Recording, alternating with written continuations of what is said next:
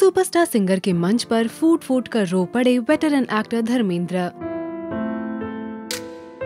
सही कहते हैं, इंसान गाँव तो छोड़ सकता है, लेकिन गाँव इंसान को नहीं, और इसी के चलते कुछ पुरानी बातों को याद कर धर्मेंद्र की आँखों में आए आँसू। आप भी देखे धर्मेंद्र की कुछ पुरानी यादें। लुधियाना से 10 किलोमीटर एक छोटा सा गाँव सानेवाल। ये वही गाँव है जहाँ पर एक बच्चे ने जन्म लिया था। एक दिन मुंबई आकर स्टार बनने के सपने को भी इसी गाँव में देखा था धर्मेंद्र ने। ये वही गाँव है जहाँ एक बच्चे ने बड़े बड़े सपने देखे थे। रोज रेल की पटरी के पास बैठकर सोचता था, कब बम्बई जाऊँगा, कब मेरी किस्मत का सितारा चमकेगा। वो बच्चा कोई और नहीं, वो थे हमारे अपने धर्म पाजी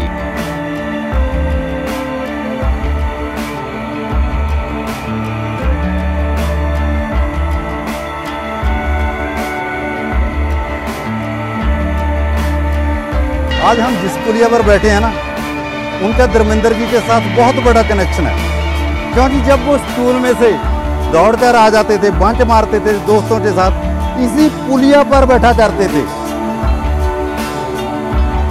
एक रेलवे लाइन जाती है, वो सीधी बॉम्बे तो जाती है, और उनका जेल अच्छा था कि इसी ट्रेन से जाऊँगा, एक दिन बॉम्बे पहुंचूँगा, और वहाँ पर स्टार बनकर सामने।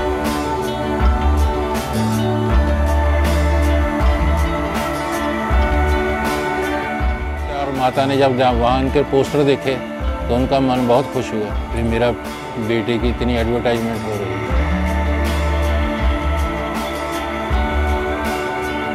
उस स्कूल में भी ले चलते हैं जहाँ धर्मेंद्र एक स्टूडेंट हुआ करते थे। मुझे प्राउड फील होता है कि मैं वहाँ एक एज ए टीचर हूँ जहाँ पर धर्मेंद्र जी कभी स्टूडेंट हुआ करते थे।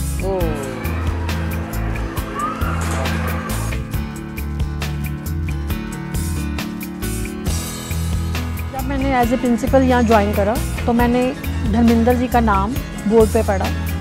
तो अंदर से बहुत एक खुशी हुई कि वो हमारे स्कूल के जो थे, वो एक्स स्टूडेंट थे।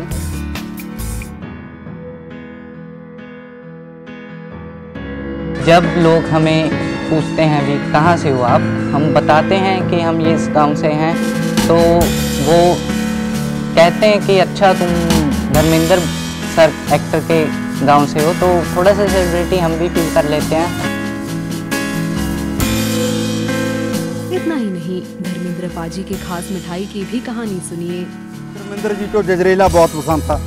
पंडित साधु राम हलवाई और नंबरदार प्रीतम सिंह हलवाई।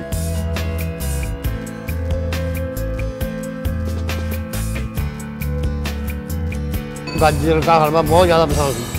ਇੱਕ ਲੱਸੀ ਬਹੁਤ ਜ਼ਿਆਦਾ ਪਸੰਦ ਸੀ ਉਹਨੇ ਨੂੰ ਲੱਸੀ ਦਾ ਨਾ ਇੱਕ ਕਿਤਾਬ 'ਚ ਵੀ ਜ਼ਿਕਰ ਕੀਤਾ ਹੋਇਆ ਜੀ ਉਦੋਂ ਆਪਾਂ ਨੂੰ ਉਰੇ ਮਿਲਿਆ ਜੀ ਡੇਰੇ ਜਮਾਤਾਂ ਦੇ ਮੈਂ ਇਹਨਾਂ ਨੂੰ ਬਤਾਇਆ ਮੈਂ ਕਿਹਾ ਮੈਂ ਸਾਧੂ ਰਾਮ ਦਾ ਪੁੱਤ ਹਾਂ ਮੈਨੂੰ ਜੱਫੀ ਪਾ ਕੇ ਮਿਲੇ ਤੇ ਬੋਲੇ ਕਿ यार मैं दुकान पर जरूर आऊँगा छोटे मैं कहा ठीक है जरूर आए जब भी कोई भी जाके बताता है कि मैं सानेवाल से हूँ वो बहुत खुश हो जाते हैं वो पैसे से भी मदद करते हैं और शादियों में भी आते हैं उनको जब भी टाइम मिलता है तो अपने स्कूल में ज़रूर विज़िट करें। हमें सबको बहुत अच्छा लगता है।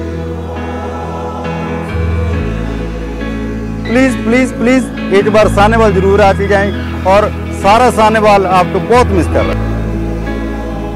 और अपनी पुरानी बातों को देख अपने आंसुओं को रोक नहीं पाए। देखिए इनका क्या कहना है।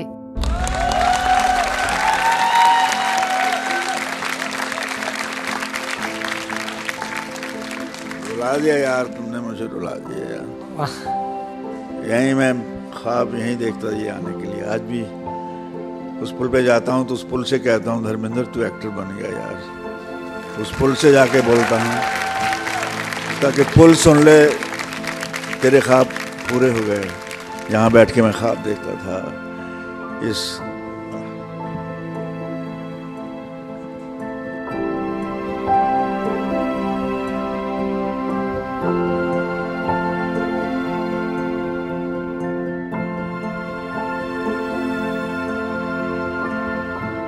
और ये गाँव के तो मैं उसकी मट्टी कन कन से मेरी मोहब्बत है तो भूल नहीं सकता मैं कभी। पार्टीशन से पहले से हम वहाँ रहते थे।